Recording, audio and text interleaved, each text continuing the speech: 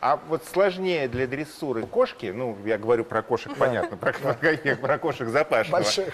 Да, э, в смысле тигры, львы э, или э, медведи. В чем вообще вот э, э, здесь нюансы? А, нюансы есть и очень большие. Медведь а, более скрыт в своих эмоциях. То есть а, медведь не, не дает себя распознать. Он эмоционально, если вы видите, э, фактически не меняется. В такой же э, обстановке, атмосфере внутри, он может тут же напасть на тебя.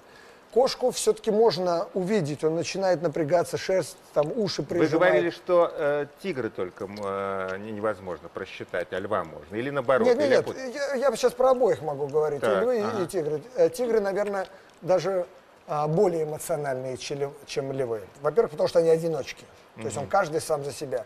Лев, большой лев может показать своим самкам, мол, давайте разбирайтесь, я здесь посижу, но этот пассажир мне не нравится. Покрышую. Да.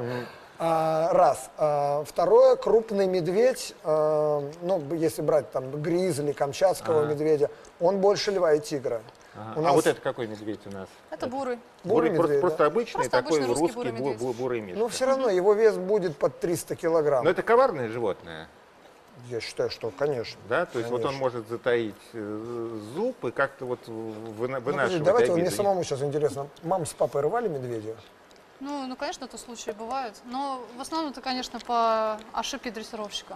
То есть нет Какого такого... рода ошибка? Ошибка? Чем она может быть Ну, медведь это очень жадное такое животное. Так. И она может обидеться. То есть, не знаю, ну все дело в... под- Ну, как бы... Ну, каждая сейчас он ситуация- обидится, ему сгущенку ему не дают. Да, все, слежу, слежу. Ну, просто ситуации все не похожи друг на друга. И Ага. говорить, что это всегда именно так, тоже нельзя. То есть ситуации бывают разные и разного плана. Но все зависит от отношения, все вот рождается с детства. Я, вот я на своем примере, кого дрессировщиков медведя лично знаю, у некоторых нет фалангов пальцев. Ну, дают медведю с Так. рук, медведь там место, место, раз за палец. Фалангу Что же вы меня подставляли-то в, в- в гостевой? Этот Я медведь- кор- кормил его. Этот медведь фалангу бы вам не откусил, максимум да. по локоть. Он пока только отнимает мороженое. А у вас э, родители оба, да, занимаются дрессурой?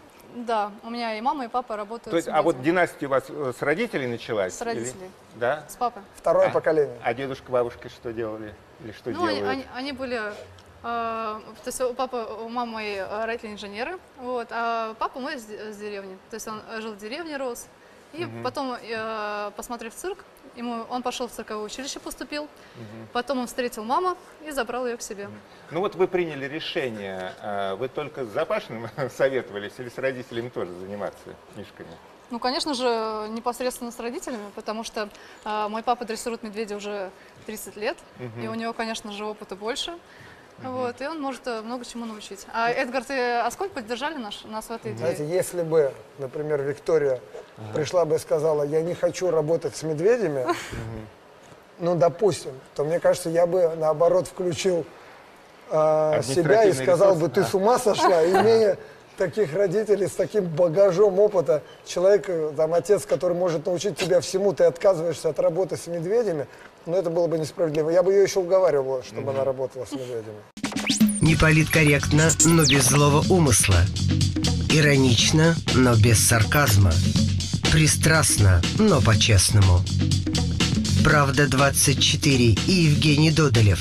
С понедельника по четверг в 19.30 на телеканале Москва 24.